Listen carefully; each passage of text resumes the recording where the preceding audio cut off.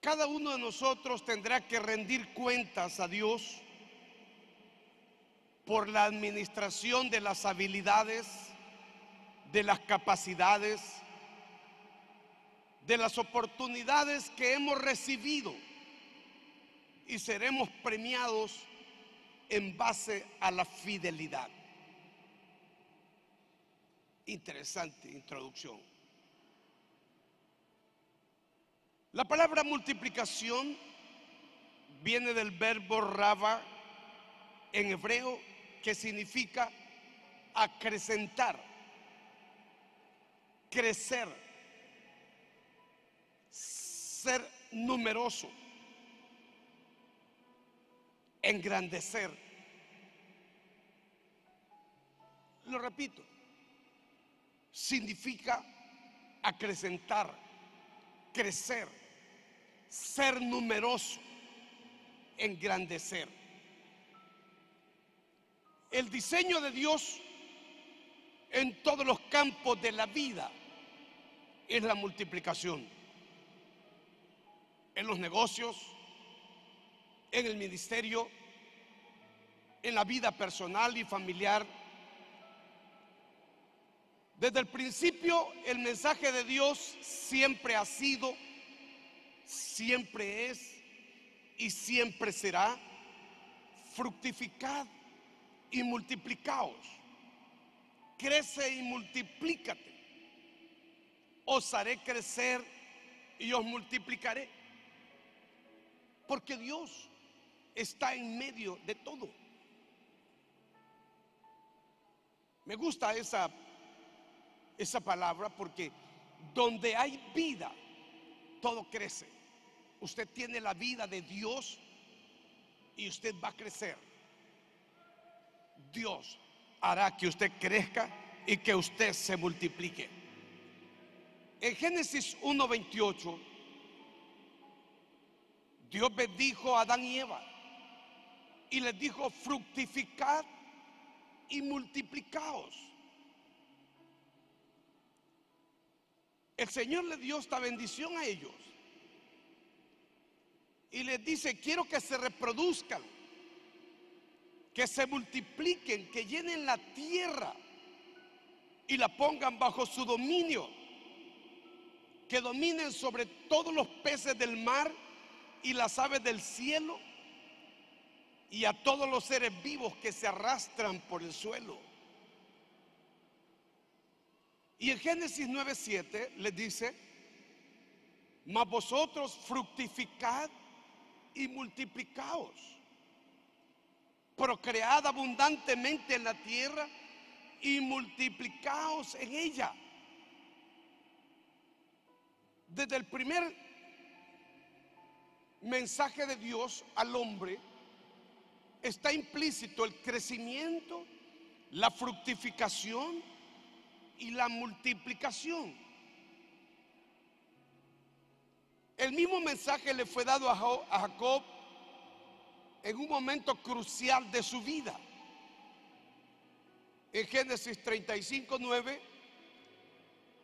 se le apareció otra vez Dios a Jacob cuando había vuelto de Padán Arán y le bendijo y le dijo, tu nombre Jacob, no se llamará más tu nombre Jacob, sino Israel será tu nombre. Y llamó su nombre Israel. También le dijo Dios, yo soy el Dios omnipotente, crece y multiplícate. Cuando Dios le está diciendo, soy el Dios omnipotente, no es una palabra que hay que tomarla ligeramente. Dios le está diciendo a Jacob, quiero que me conozcas, que te des cuenta quién soy, con qué Dios tú vas a operar. Soy el Dios que lo puede todo, que lo sabe todo, que lo conoce todo. Soy el Dios omnipotente. Pero le da una orden. Crece y multiplícate. Me gusta esa, esa mentalidad de Dios. Y le dijo algo más, una nación y un conjunto de naciones procederán de ti. y reyes saldrán de tus lomos. Porque en la mente de Dios está claro que el propósito divino es el crecimiento, es la fructificación y es la multiplicación. Dios no es un Dios eh, que se mantiene ahí y se queda todo como detenido. No, Dios ama que el hombre crezca en todos los aspectos de la vida, que el hombre sea fructífero. Dios no quiere que el hombre sea estéril. Dios quiere que tú seas fértil como mujer, que seas fértil como hombre de Dios que dé fruto, fruto que exalte a Dios, pero que haya multiplicación, un espíritu de multiplicación dentro de ti. Y le dijo la tierra que le he dado a Abraham y a Isaac, la daré a ti, a tu descendencia después de ti, daré la tierra. Y le dijo, sé fructífero, multiplícate. ¿Lo ve usted? que Dios ha venido a través de la historia hablando, sé fructífero. No hay cosa más triste en la vida que ser estéril, improductivo. Pero lo grande delante de los ojos de Dios es ser fructífero, es ser abundante en todo lo que Dios te entrega. Multiplícate. Abraham e Isaac, cada uno tenía un solo hijo de la promesa. Abraham tenía a Isaac e Isaac tenía a Jacob como hijo de la promesa, de la línea de Dios. Pero ahora llegó el momento del aumento. Jacob había sido bendecido con once hijos y Dina, una hija. Eran doce hijos. Era el momento de crecer, de multiplicarse. Dios lo había bendecido con hijos y ahora recibe la bendición largamente prometida. Sé fructífero y multiplícate. A partir de ese momento, la multiplicación de Israel es rápida. Entraron 70 a Egipto, entre mujeres de Jacob, hijos, nietos, entraron 70. En 26 años después de este tiempo, Jacob desciende a Egipto con 70 personas, además de las esposas de sus descendientes casados. Pero después Israel sale de Egipto con un millón ochocientas mil personas. El poder de la multiplicación fue efectivo. Hubo un crecimiento numérico, cualitativo, cuantitativo. Cualitativo porque Dios los enriqueció en Egipto y cuantitativo porque crecieron numéricamente, pues el diseño de Dios. Dios quiere que tú seas prosperado, que tú seas bendecido, que vivas bien. Pero también Dios quiere que crezcas. Dios te da habilidades, capacidades para que tú las pongas a funcionar. ¿Entiendes? Israel llegó a un millón ochocientos mil. ¿Por qué? Porque los hombres israelitas, como esclavos en Egipto, haciendo lodo, recogiendo la paja, y haciendo lodo para hacer los ladrillos para construcciones de Ramsés.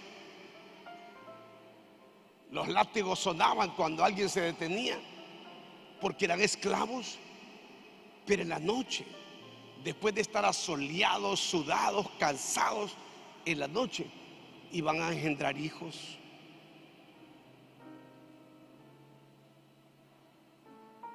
¿Qué le parece? Y las mujeres israelitas fértiles, Se casaban jóvenes, fértiles. No aparecían. Hoy no porque me duele la cabeza. Es que viera que una uña me está molestando. No, estaban abiertas para sus esposos y comenzaron a producir y a producir y a crecer y a tener hijos continuamente porque para ellos engendrar hijos era el honor más grande como hombres. Y para las mujeres, dar luz, hijos al hombre era el privilegio más grande, el gozo, la satisfacción. Entonces no importa cuántos hijos podrían tener, de esa forma Dios bendijo a Israel, lo hizo crecer, lo hizo multiplicar conforme a la promesa que le había dado Abraham. Nacieron reyes, salieron de sus lomos toda una generación, como Dios le dijo a Abraham. Dijo, sal a contar, mira las estrellas, cuéntalas. Si puedes contarlas, así será tu generación. Y el hombre no tenía hijo, su mujer era estéril y tenía 90 años. Pero lo que es imposible para el hombre, posible es para Dios. En Éxodo 1.7 dice, y los hijos de Israel fructificaron y se multiplicaron y fueron aumentados y fortalecidos en extremo y se llenó de ellos la tierra. Pero todo tiene que ver con la declaración de Dios.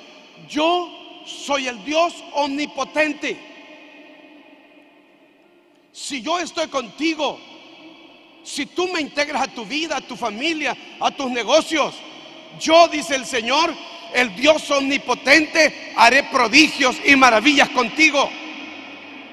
Será fructífero y no estéril serás productivo altamente, serás fecundo. Porque donde hay vida, cuando Dios viene a nosotros, nos da vida. Y donde hay vida, todo crece. Dígale en alta voz, donde hay vida, todo crece. Entonces viene el crecimiento y viene la multiplicación. Pero Dios quiere sentarse en el trono de nuestra vida, regir nuestro destino y convertirnos en fructíferos llega gente de multiplicación. Allá en el mundo natural, aquí en el mundo espiritual, Dios nos dota de habilidades, de capacidades enormes. Ah, Dios había dado a Israel una grandiosa promesa, pero ellos deberían volver a Dios porque se habían ido en un tiempo y para experimentar el poder el poder de esa promesa. Israel tenía que volver a Dios para ver la multiplicación. En Levítico 26, 9 y 10, Dios le dice, me volveré hacia vosotros y os haré crecer y multiplicar. Os haré crecer y os multiplicaré. Por eso la presencia de Dios es tan fundamental. Por eso hemos estado impulsando a la oración, al estudio de la palabra, para que nosotros podamos atraer a Dios a nuestra vida, crecer, ser fructíferos y multiplicarnos. Así que esta mañana, iglesia, ministerio la cosecha, despierta, sé fructífero y multiplícate en el nombre de Jesús. Aleluya, multiplícate.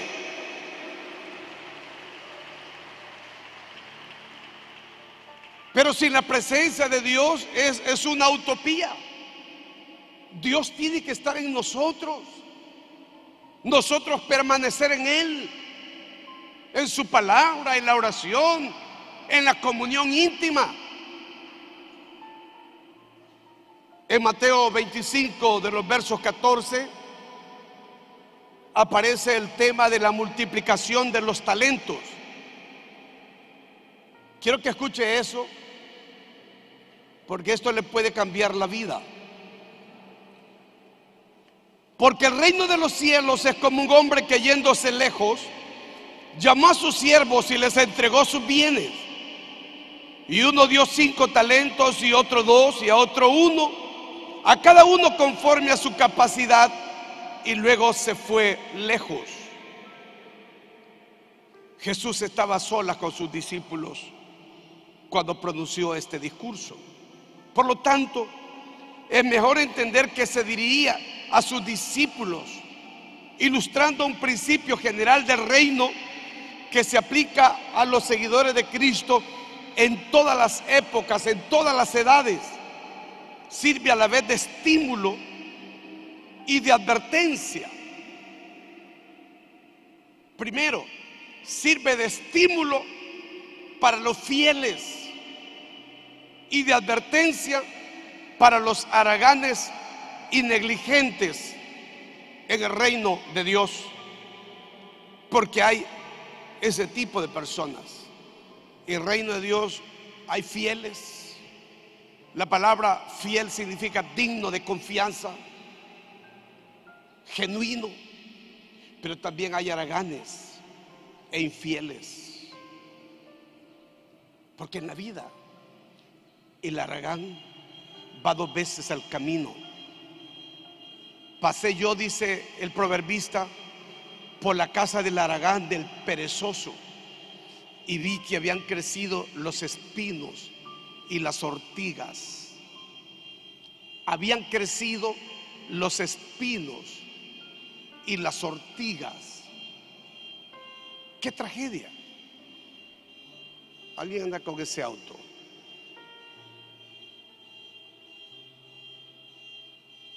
Es que el aragán es así. Ni aún asará lo que ha casado. Y si uno va a ser próspero y fructífero, tiene que ser diligente, emprendedor, esforzado y valiente.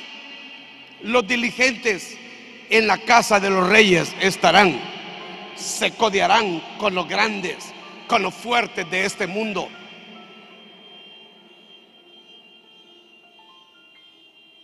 Es importante eso. Perdonen, ¿de quién es ese demonio que está molestando ahí? Es importante eso. Que nosotros podamos entender la necesidad de ser diligentes en este proyecto de Dios. En la parábola los tres recibieron cantidades distintas a los bienes de su amo. La base de la distribución se establece en la soberanía del amo y en la capacidad individual de los siervos. El término capacidad viene del vocablo griego dunamis que significa poder, fuerza, eficacia, energía, habilidad. Dios nunca demanda de un creyente más de lo que es capaz de rendir bajo el control del Espíritu Santo. Si Dios te llama a algo, es porque sabe que tienes capacidad para hacer ese algo. Y si no tienes capacidad, Dios te da la capacidad y la habilidad para desarrollarlo. Miren, por eso nosotros necesitamos ser llenos del Espíritu Santo de Dios. Porque la persona llena del Espíritu Santo, yo no estoy hablando de que usted es bautizado en el Espíritu, que habló en lenguas, no. Hablo de la íntima comunión, de la relación que usted puede tener con Cristo, con su espíritu, estudiando la palabra, orando. Usted tiene una, una, esta es una vasija llena, su vasija está llena de aceite todo el tiempo.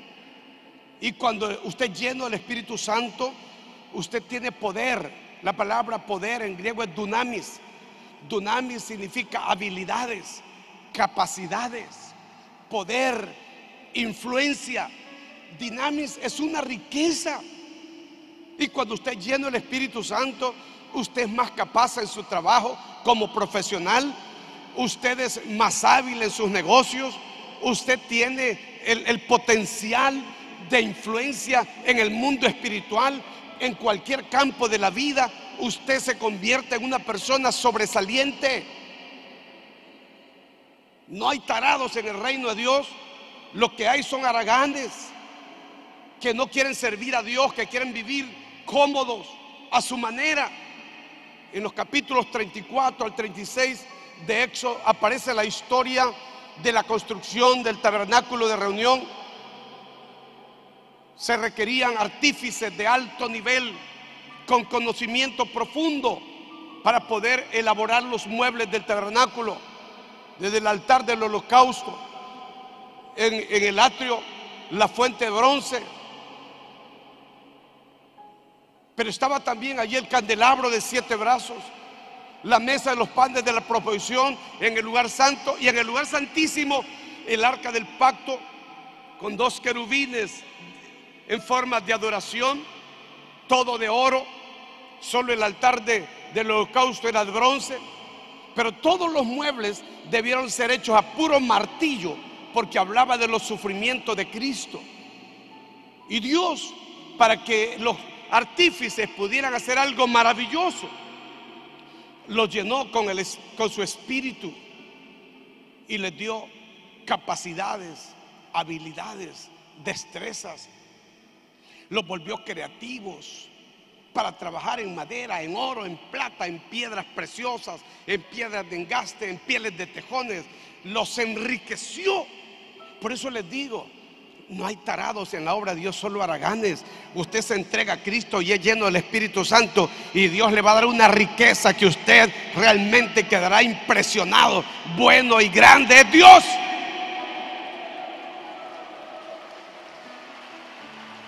Pero vamos, aplausos. ¿O es que tienen frío? Esto es para celebrarlo. Miren, es todo, Dios es toda una riqueza para nosotros.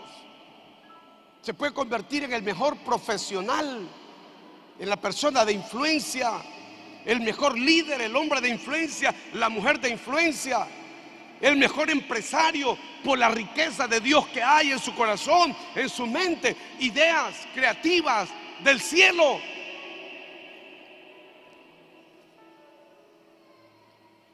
Estamos hablando de talentos. Los súbditos del reino somos iguales en cuanto al número de talentos aquí que reciben, pero pueden ser iguales en cuanto a la fidelidad en, el uso de ellos. Al relatar esta parábola, Jesús no mencionó instrucciones que el amo dio a sus siervos. Sin embargo, el hecho de ser siervos implica responsabilidad de administrar con enorme fidelidad los recursos de Dios. Dios te da recursos, talentos. Es para que los multipliques, para que sea fructífero.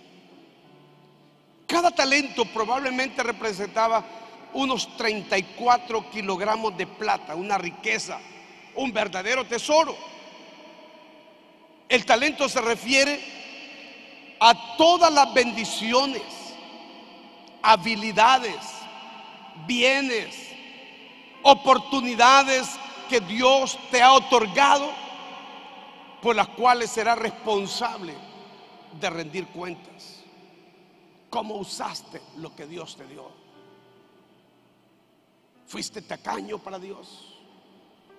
Escondiste lo que debiste dar, no multiplicaste, te sentaste en los dones, te sentaste sobre tus capacidades.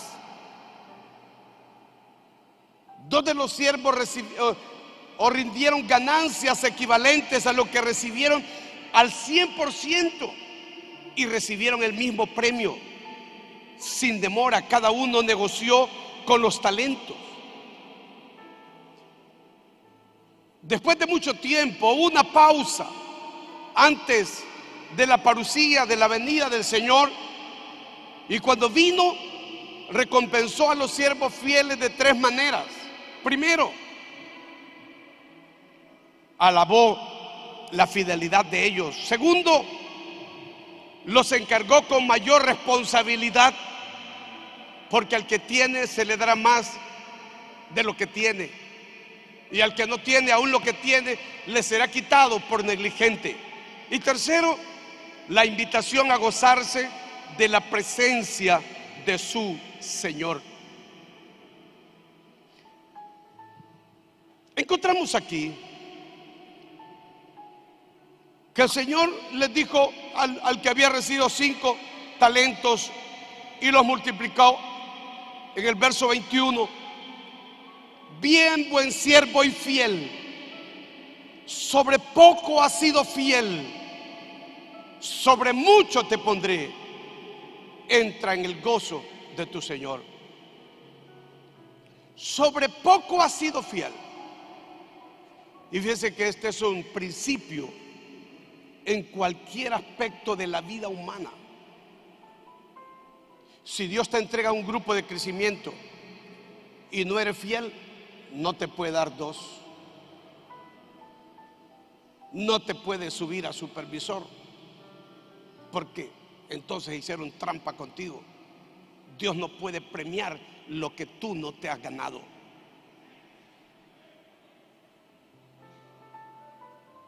Lo mismo con la iglesia. Si no podemos cuidar la gente que Dios nos da, Dios no nos puede dar más. Te da una empresa, si no la sabes manejar, tenemos problemas. Dios no te puede bendecir para que la multipliques. Tienes que mostrar fidelidad en lo poco para que Dios te lleve a lo mucho. Yo empecé con 40 personas, eh, con, cero personas, creo que dos. Dos hermanas que todavía están con nosotros. Es un serie, 1977, hace 46 años. Crecimos a 120.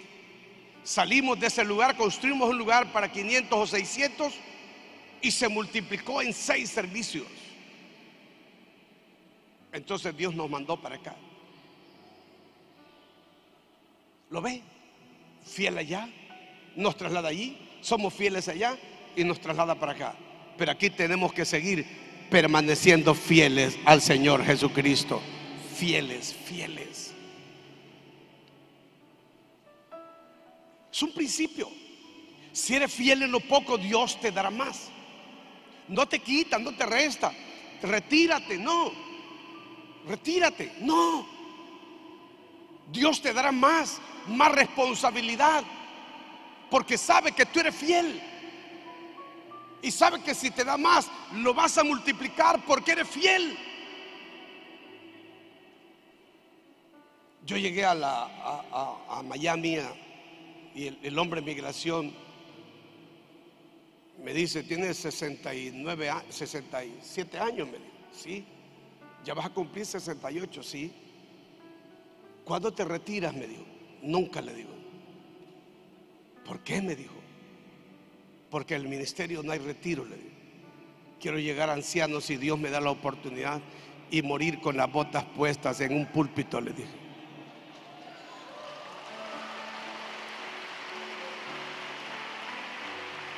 No se la... Es que tú lo peor que te puede pasar es ser fresa, fresón, cristiano light.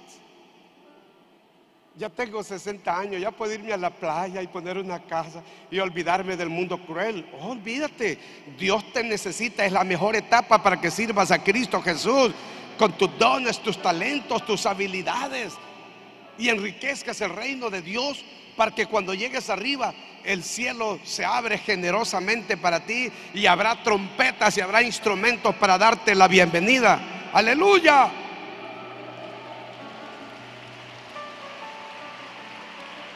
Buen siervo, buen siervo y fiel. Lo mismo le dijeron el que había ganado dos. Entra en el gozo de tu Señor primero. La recompensa se presenta en forma de alabanza. Bien, le dijo Dios, bien, buen siervo y fiel, representando el agrado, la aprobación del amo hacia sus siervos. Bien, como quien dice, bien hecho, buen siervo y fiel. Siervo porque eso es lo que somos, servidores de Cristo. Bueno significa generoso y correcto en su proceder. Por lo tanto, el buen siervo es el que es correcto, cumplidor, fiel, digno de confianza, leal en relación a las instrucciones de su amo. Segundo, la recompensa no se presenta en términos de descanso. Bien, ya puedes irte a descansar. No. Como eres bueno y eres tan bueno y fiel, que te premiaré dándote mayores responsabilidades. Aquí se habla en términos de una oportunidad de servicio con mayor responsabilidad. Sobre poco has sido fiel, sobre mucho te pondré. Ah, te va bien en la empresa. Eres buen administrador. Te voy a premiar. Te voy a dar más dinero, más recursos para que desarrolles tu empresa y la multipliques. No para que te vuelvas orgulloso y enfatuado y te olvides de dónde vienes. Es una responsabilidad con Dios para seguir siendo humilde, aunque seas prosperado y te lleven arriba. El problema es que mucha gente tiene un poquito y se vuelven locos y raros. Hasta caminan diferente ya, oh, sí, por claro.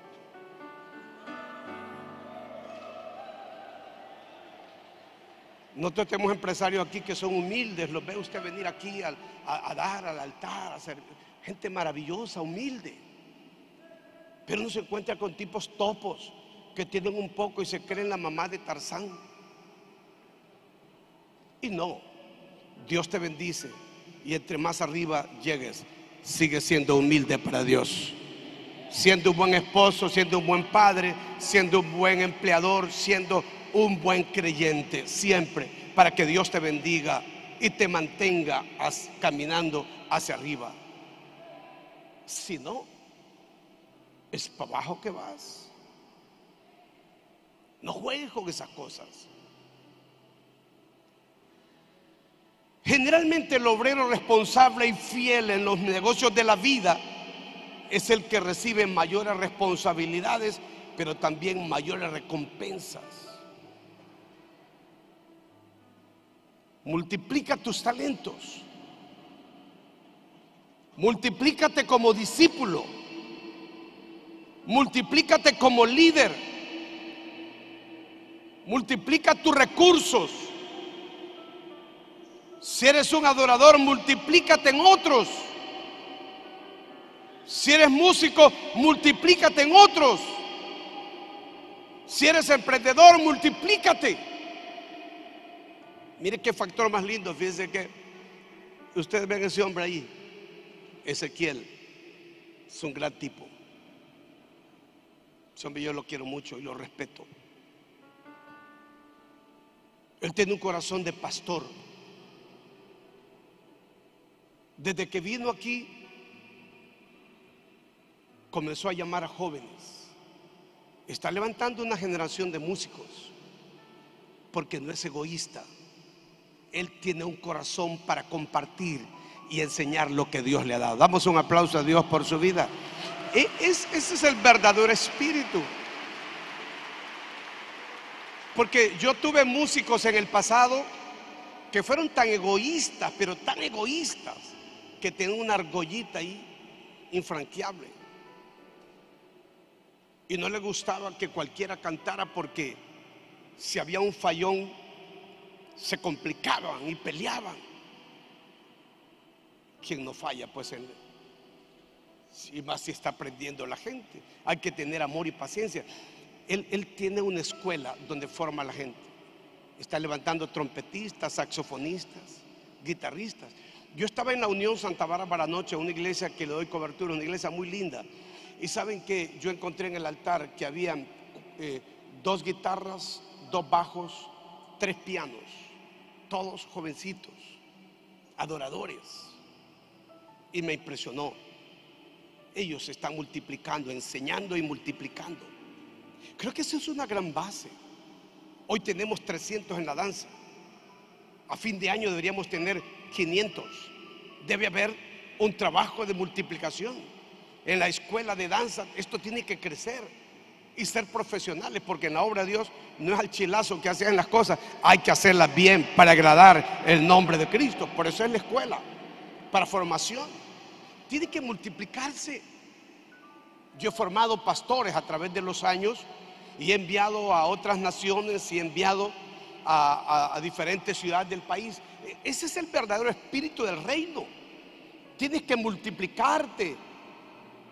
No, no es, no es hacer un clon. Tienes que multiplicarte en otros. No ser egoísta, servir lo que tú sabes hacer. Me dijo una vez alguien, ay, si alguien se me revela y si alguien me divide, bueno, será uno. Si Jesús tuvo un Judas, siempre hay un pelo en la, en la sopa. Siempre hay un divisionista. A veces el más cercano mete la mano en el plato y se va. Pero eso no te puede impedir que tú sigas formando, creciendo y bendiciendo a otros. Porque eso es lo que enriquece al reino. La multiplicación es riqueza del reino. Lo que tú sabes lo compartes, te inviertes en otros. Lo das a conocer sin reservas. Y eso es lindo. Y yo creo que es el trabajo más digno en la obra de Dios, la multiplicación. Eres un mentor, multiplícate en otros. Así como un día recibiste por gracia, da de gracia para la vida de otros, bendice a otros. Y es lo que va a llevar al ministerio a lugares honorables. Multiplicación de diáconos, multiplicación de líderes de grupos familiares, que podamos ver el poder de la multiplicación este año en todos los caminos, en todos los aspectos, en todas las áreas. Se está trabajando para levantar una orquesta aquí. Eso está haciendo. Y Dios es fiel. El otro día vino una hermanita muy linda y dijo, aquí traigo una trompeta, Yamaha, calidad. Porque Dios es así. Cuando tú trabajas por la multiplicación, Dios vendrá para recompensar y bendecir el trabajo que tú haces. Ya pronto vendrán saxofones y vendrán pianos nuevos para exaltar el nombre de Cristo. Y, tendremos aquí una gran cantidad de jovencitos que exalten a Dios, sus hijos. Lo más grande es que sus hijos se nos fue un líder maravilloso aquí, el pastor Ramón, se fue con la pandemia, pero hermana Marisa tomó su posición como mujer campeona, es una general en su, en su área, y sus hijos, todos sus, sus tres hijos, dos de ellos están tocando aquí. Y su niña está danzando. Qué lindo es ver que sus hijos sean los que hereden el altar de, de Jehová, el servicio en el altar de Dios. Sus hijos sean los herederos de la gloria de Dios en este lugar. Aleluya, diga conmigo, aleluya. Entonces cuando, cuando tienes un corazón así, la, la bendición de Dios va sobre ti. Formas a tus hijos para que hereden. Formas a otros para que hereden. Compartes lo de Dios. Si al fin y al cabo lo más lindo será es llegar escurridos allá arriba, habiendo dejado todo lo que Dios nos dio en la vida de otros. Porque la obra de Dios no debe morir porque nosotros morimos. Debe seguir viviendo en aquellos en los que nos hemos multiplicado. Si lo crees, dale un aplauso al Señor. y un grito de júbilo esta mañana. Multiplica tus talentos, multiplícate, multiplícate. No permitas sentarte sobre tus capacidades. No duermas sobre ellas. Despiértate, sé fructífero, multiplícate y glorifica al Padre. ¿Saben cuál será la tragedia más grande? Que tú como una persona llena de capacidades y habilidades se siente sobre las capacidades. Se siente sobre los talentos. Entonces el corazón de Dios sufre. Dice a este, yo lo bendije y le di capacidades enormes, riquezas enormes, pero se sentó sobre ellas. No entendió para qué se las di. No se dio cuenta. Y no quiero que pase eso. Imagínense que cada uno de ustedes es una riqueza en el reino, porque no hay tarados, dígalo, no hay tarados en el reino. Solo gente inteligente, solo gente sabia. Pero lamentablemente estamos sentados sobre nuestras capacidades. Imagínense usted lo que podría suceder si cada uno de ustedes que tienen capacidades, habilidades, recursos de Dios, pudieran ponerlos a favor de la obra de Dios, ¿cómo sería? El ministerio. Pero hay que andar atrás de ustedes.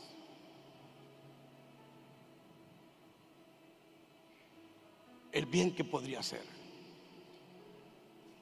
Fíjate que yo tengo 46 años de servir en esta casa. Ya voy a cumplir 68 años. Pero yo me siento joven. Me gusta el altar, me fascina trabajar por la obra de Dios. Día y noche trabajo sin descanso, porque amo a Dios y amo esto. Entiendo que yo no sé cuántos años me quedan por delante, pero quiero vivirlos al máximo. Quiero entregarme con mayor fuerza y mayor determinación. No estar pensando ir a soplarme allí al rancho y qué maravilla estar aquí. No, yo quiero estar predicando el Evangelio en las naciones del mundo. Quiero estar sirviendo al Señor, multiplicando lo que Dios me ha dado. Ah, ah, hazlo, hazlo, multiplícate. Juan 15, 8 dice, en esto he glorificado mi Padre, en que llevéis mucho fruto y seáis así mis discípulos. Porque los discípulos son fructíferos, se multiplican.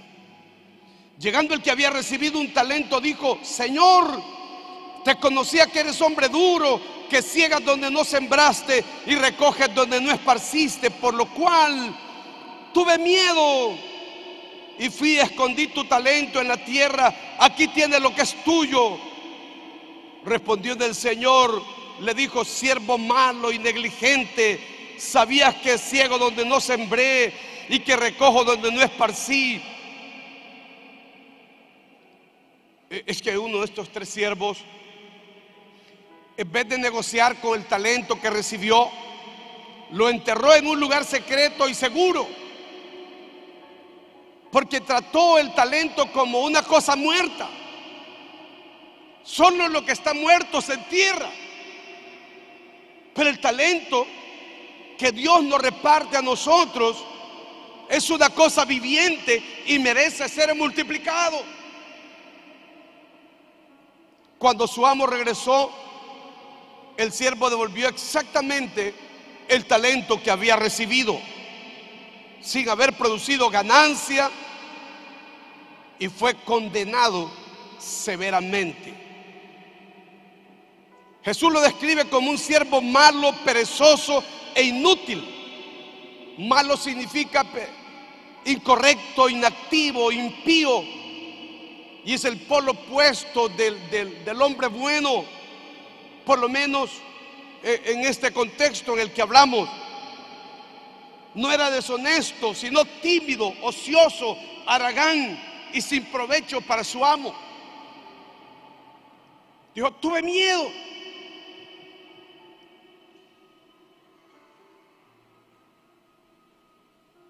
Yo estaba en la colonia Aurora y traigo a colación esto porque es importante.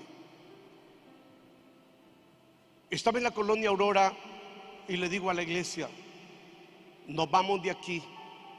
Teníamos seis servicios el día domingo. Un hombre se levantó y dijo, no te puedes ir de aquí, papita, me dijo. Le dije, ¿por qué? Y lo dijo ante la congregación. Me dijo, porque yo tengo bloques pegados aquí, yo puse dinero. ¿Cuánto pusiste? Le digo, y te lo devuelvo. Pero tu mentalidad no detendrá mi peregrinaje en la obra de Dios. Los ancianos de ese tiempo fueron a mi casa sin que yo lo supiera y le dijeron a mi esposa, no permita que el pastor compre esa propiedad. Vamos a quedar sin trabajo y no vamos a poder pagarla. Y mi esposa me dijo lo que ellos habían dicho. Les pegué una tunda y le dije incrédulos, con ustedes no puedo caminar. La obra de Dios es de fe y al que cree todo le es posible. Si yo hubiera escuchado a esos ancianos de ese tiempo, no estuviéramos aquí. Me arriesgué, porque en la vida hay que arriesgarse. Si tú eres un temeroso, el temor te paraliza, el temor te mutila, te incapacita, te vuelve inútil. Cuando Dios está contigo, no puedes tenerle miedo a nada ni a nadie. Por eso trabajas con el omnipotente. Por eso Dios se le reveló a Jacob y le dijo, soy el Dios omnipotente. Cualquier cosa que tú necesitas, Dios la puede hacer. Dios lo puede solucionar. Dios puede hacerlo. Trabajas con el que lo puede todo. Hemos cometido errores, sí. Porque yo crecí sin dirección de nadie, solo al final tuve que agarrarme de Dios. A mí nadie me enseñó cómo era el ministerio. No me dijeron cómo yo tenía que administrar, cómo tenía que cuidar.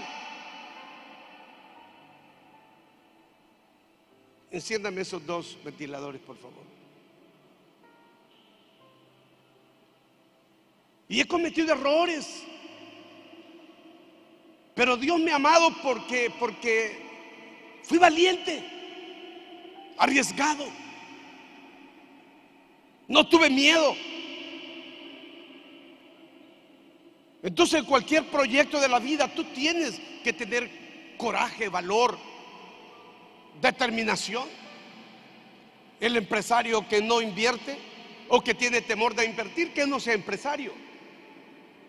La gente como el hermano Virgilio Galo, yo le he visto cómo está multiplicando Frubepsa en Teucigalpa, en diferentes partes. ¿Por qué? Se iba. Porque entiende el valor de la multiplicación. Porque si somos buenos en las cosas pequeñas, Dios nos lleva a las cosas grandes. Aleluya. Lo peor es ser malos, negligentes, haraganes, perezosos que no querramos servir con el talento que Dios nos ha dado. Ahora, Dios les ha dado talento a ustedes, pero un día les va a reclamar y los va a llamar a cuentas. ¿Qué hiciste con el talento que te di? Señor, tuve miedo. Lo guardé en un lugar seguro. Siervo malo y negligente.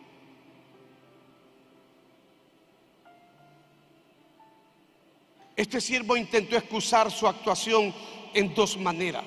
Primero, atacó el carácter de su amo. Segundo, confesó su temor.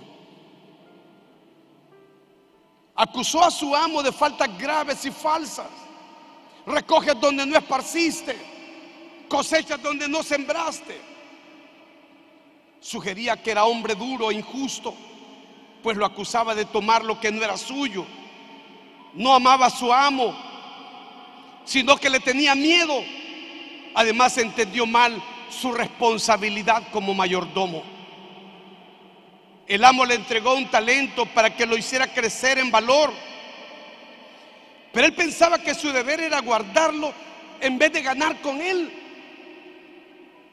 Este error fatal en su concepto del deber como mayordomo se revela en su actitud al devolver el talento al amo, aquí tienes lo que es tuyo. Siempre hay un cierto grado de riesgo en hacer trabajar los valores materiales. Pero una cualidad esencial en los súbditos del reino es la valentía, el denuedo de correr el riesgo de aquellas cosas que sabemos nosotros que son la voluntad de Dios. ¿Cómo no sabría yo que era la voluntad de Dios comprar un terreno grande y, hacer lo que hoy tenemos?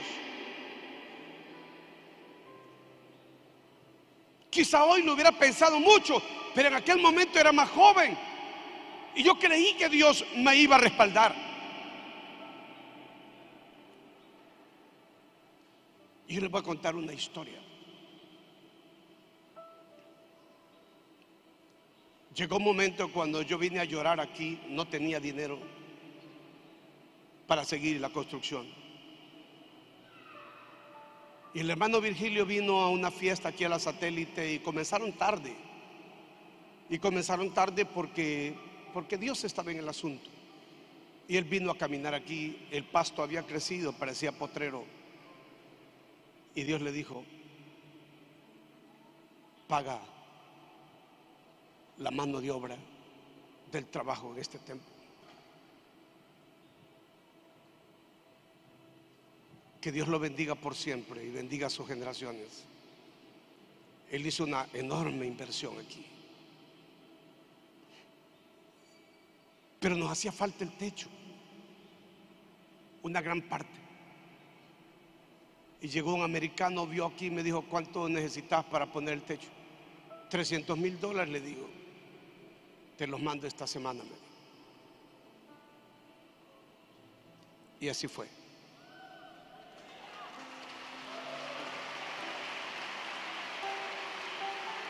Ese aplauso creo que es como para mí. Si es para Dios, tiene que sonar. Así ha sido. Así ha sido el favor de Dios para nosotros.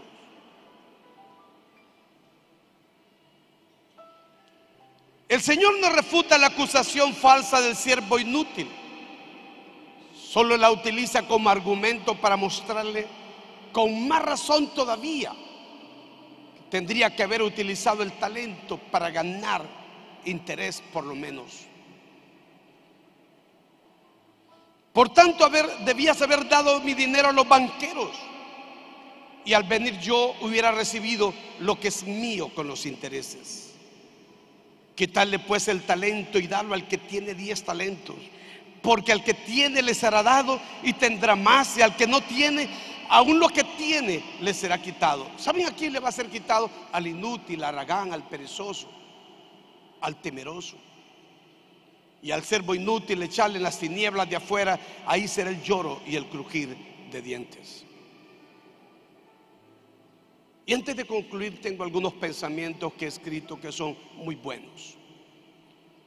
El talento no utilizado por el siervo inútil fue quitado y entregado al siervo que había demostrado mayor habilidad dando ganancia al Señor. El escritor William Barclay, que me gustan sus materiales, sus escritos, dice Aquí se refiere a la acción de parte del amo como una regla de la vida que se aplica universalmente. El que ha sido fiel seguirá recibiendo más, pero el que no ha sido fiel perderá lo poco que tiene. Cuando los músculos no se usan, se atrofian, se van achicando hasta que quedan inútiles.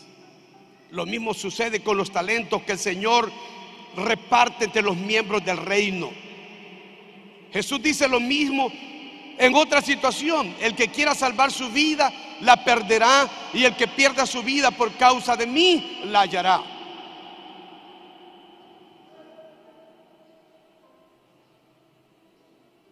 Hay que usar los talentos. Si usted no hace ejercicio, se va achicando. El otro día vino un hermano aquí, pero lo vi tan pequeñito. Le digo, ¿o usted bajó o yo crecí? Si usted llega a cierta edad y solo pasa en un escritorio y sentado y dirigiendo, le aseguro que tendrá problemas. Salga a caminar, active sus músculos y esos huesos secos, si no va a tener líos con su salud y pronto estará viejo. Yo aprendí que tengo que movilizarme, actuar. Yo los lunes en mi día libre, yo me voy al rancho, yo voy a trabajar como un peón. Me gusta sudar, me gusta trabajar con las vacas, me gusta hacer el trabajo y sentirme útil. No, ya tengo 67 años, ya estoy viejo, pues ya está viejo, ya está arruinado, ya se acabó usted. El justo florecerá como la palmera y a los 50 años dará el mejor fruto de su vida. Los ancianos reverdecerán plantados en la casa de Jehová de los ejércitos. Ejercítese, coma saludable y Dios lo va a bendecir. Pero en la vida espiritual ejercite sus talentos, ejercítelo. ¿Sabe cantar? Venga y pruébese aquí.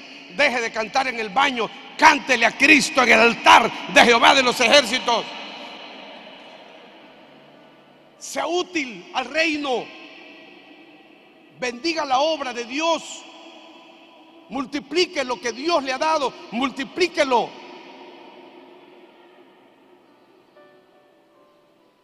El siervo inútil, estéril e infructífero será echado en un lugar que describe en términos de tinieblas de afuera, llanto y crujir de dientes. En resumen, la diferencia entre los siervos que fueron premiados por su amo y el que fue condenado se expresa en una sola palabra, fidelidad. Fidelidad. Declaro esta mañana una unción de multiplicación sobre los buenos y fieles de esta casa. Los que pueden trabajar sus talentos que le han sido asignados. Proclamo que sus labores reverdecerán en el nombre de Cristo, florecerán y fructificarán tanto en el mundo espiritual como en el mundo secular, desatando el crecimiento cualitativo y cuantitativo en su vida. Declaro que Dios levanta una generación de mentores entregados a Cristo que producirán un poder multiplicador de discípulos, los que a su vez se multiplicarán para producir el gran aviamiento de esta casa. Declaro esta mañana que se pudre el espíritu estéril y Dios te hace fértil, fructífero y con espíritu de multiplicación. Declaro en esta mañana que la unción del Espíritu Santo traerá sobre ti habilidades, capacidades, destrezas para que enriquezcas el reino de Cristo Jesús. Te profetizo esta mañana, una gracia viene sobre ti y un poder multiplicador de todo aquello que te fue entregado. Aunque se opongan las tinieblas, nadie podrá detener lo que Dios ha dicho que va a hacer contigo. Dios te favorece y te da una unción fresca para producir resultados inimaginables en el nombre de Jesús. Declaro que tus temores huyen y tú te impulsas a crecer, a, a ser fructífero y a multiplicarte en el nombre de Jesús. Dios te levanta como un buen administrador de las habilidades que te ha entregado de las oportunidades que ha recibido y vas a ser premiado en base a tu fidelidad. Les hablé mucho, ¿verdad? Pero bueno, dígale mucho, pero bueno, mucho, pero bueno. En ti hay una riqueza, en ti hay un poder. Solo tienes que descubrirlo, darte cuenta quién tú eres y las cosas grandes que hay en ti, las bondades que hay en ti, las riquezas que Dios te entregó es para que las pongas a su servicio, porque esta es la riqueza de la obra de Dios. Te den una palmadita, te agradezcan o no, tú no me sirves a mí, ni le sirves al equipo, tú y yo le servimos al mejor, a Cristo, al Señor, al Dios eterno, al Dios todopoderoso. Pónganse de pie, por favor, esta mañana.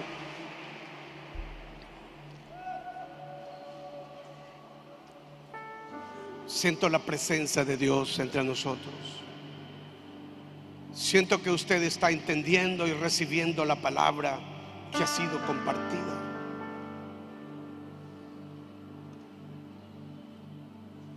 Esta mañana dice el Espíritu Santo, quiero impartirte de lo mío. Porque quiero hacer grandes cosas contigo. Solo abre tu corazón, quiero impartirte.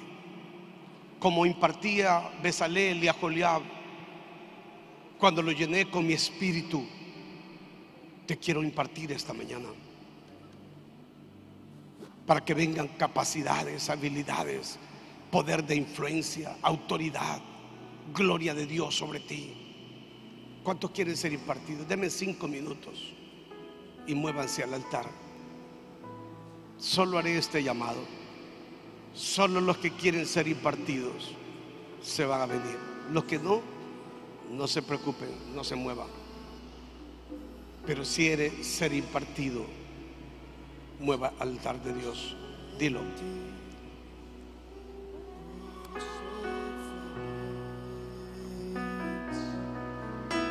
En ti confía mi corazón.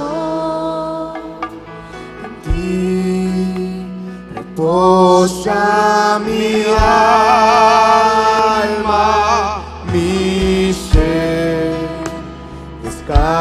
descansa en ti. Puedo ser feliz en ti confía mi corazón en ti reposa mi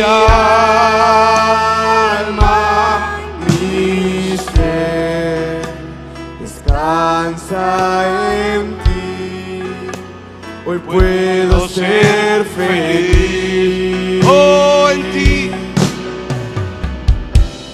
porque sé que estás sobrando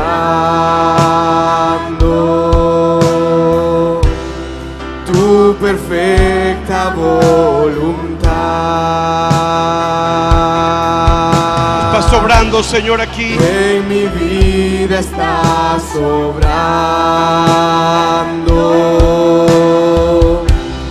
tu perfecta voluntad.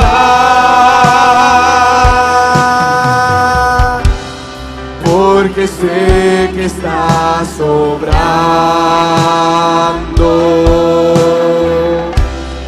tu perfecta voluntad. Levante sus brazos. En mi vida está sobrando. Nuestro Dios es un Dios rico,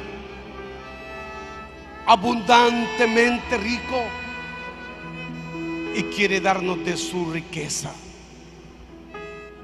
Recibe esta mañana. Recíbelo. Espíritu de vida, impártenos. Abrazamos tu riqueza, tus bondades, tu impartición. Recibe. Algo va a cambiar en tu vida a partir de hoy. Recíbelo. El Espíritu Santo viene sobre ti. Recíbelo. Eso es. Recíbelo. Maravilloso, maravilloso. Vamos, actúe, toque una vida. En el nombre de Cristo. Está siendo impartida esta mañana. venga sobre ella tu riqueza, tu espíritu, tu poder. Qué lindo es ver esas lágrimas, qué hermoso. Vamos, Dios te imparte, recibe. No calles, recibe. La unción de Dios está sobre ti. La presencia de Dios está sobre ti. Ven, deja esa cámara y ven, ah, toma, haz tomas aquí individuales. Ven, muévete aquí en el nombre de Cristo. Mira esto, recibe, Dios te imparte. Algo llega a tu vida hoy que cambiará, cambiará tu vida. Imparte el Espíritu Santo, impártele, tócales. Mira qué hermoso esto. Aleluya. Presencia de Dios, presencia de Dios. Unción del cielo desciende. Ven, ven con tu riqueza. Ven, empodéralos. Ven, equípalos. Equípalos con tu riqueza, equípalos con tu poder. Equípalos. Que esta mañana, Señor, todo espíritu estéril se pudre. Todo espíritu estéril se pudre. Y viene fertilidad, viene la fertilidad viene la productividad de Dios, viene la abundancia de Dios. Desciende con poder, desciende con poder. Fuego, fuego. Vida del Espíritu. Poder multiplicador de Dios fluye. Poder multiplicador de Dios fluye. Muévete con poder esta mañana. Aquí está Dios.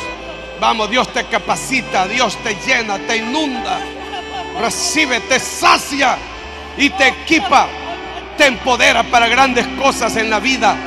Fuego sobre ti, poder del Espíritu sobre ti. En el nombre de Cristo, gloria de Dios desciende, desciende. Que los mejores años de su vida sean estos para mi hermano. Que la unción tuya venga a él. Fuego, poder del Espíritu. Levántalo, levántalo, avívalo. Gloria de Dios, avívalos. Tómalos con poder del Espíritu. Fuerza, fuerza. Estamos, estamos, estamos. Vamos, reciban. Eso, Dios ve tus lágrimas. Dios te imparte esta mañana. Recibe el poder de Cristo. La unción de Dios recibe la vida de Dios sobre ti. En el nombre de Jesús, ven. Ven, impárteles, impárteles de tu riqueza.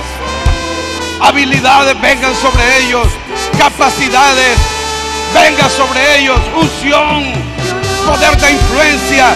Venga lo de Dios, venga lo de Dios, venga el poder de Cristo. En el nombre de Jesús, venga la riqueza del cielo. Empodéralos, empodéralos, empodéralos poder sobrenatural de Dios, empodéralos. En el nombre de Cristo. Eso es. Espíritu Santo, ven. Ven. Premia a mi hermano por la bendición que ha sido sobre esta casa. Dale más, dale más. Haz abundar en él.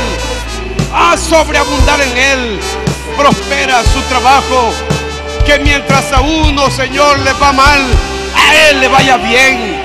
Que tenga salud, que tenga fuerza, que tenga vida y prosperidad abundante. En el nombre de Jesús. En el nombre de Jesús. Fuego. Poder del Espíritu Santo. El Espíritu viene sobre ti para cambiar tu presente, para cambiar tu futuro. Dios te estremece y te levanta en el poder del Espíritu. Avívalos, avívalos.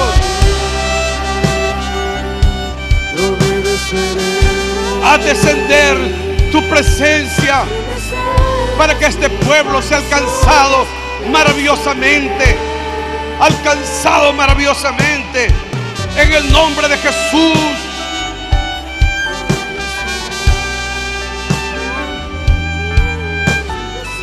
En el nombre de Jesús. Actívala.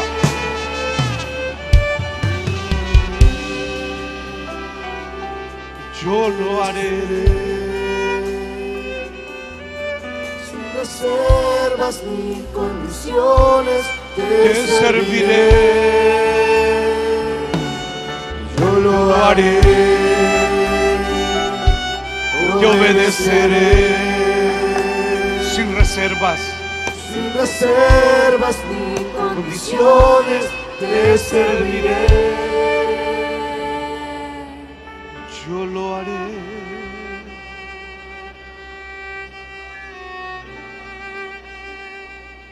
Aquí está Dios. Su Espíritu Santo está aquí fluyendo. Hay una unción divina sobre este lugar. Y Dios está trayendo una riqueza sobre esta casa. Recibe. Recibe. Dios te imparte. Recibe. Dios te da de lo suyo, de su abundancia.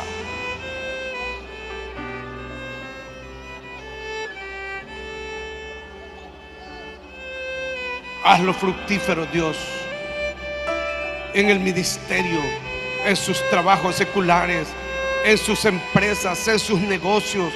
Hazlo fructíferos.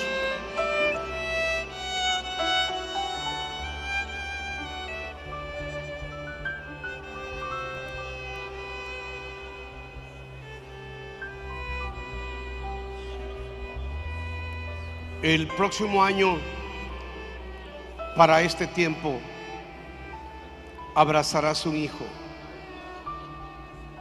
El hijo no será de tu criada, será tuyo. ¿Para quién es esta palabra? ¿Para quién es esta palabra?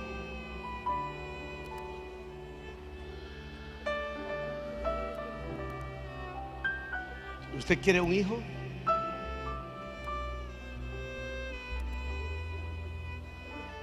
¿Está con su esposo?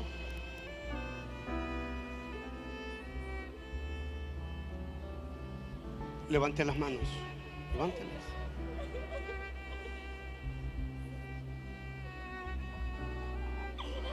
Dale a un esposo que la ame, la estime y la bendiga.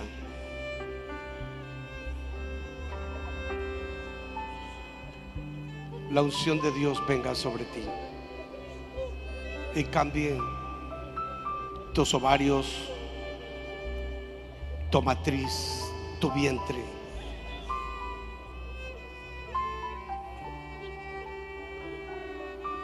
Y lo vuelva receptivo para el milagro. En el nombre de Jesús. Declaro un milagro sobre su cuerpo.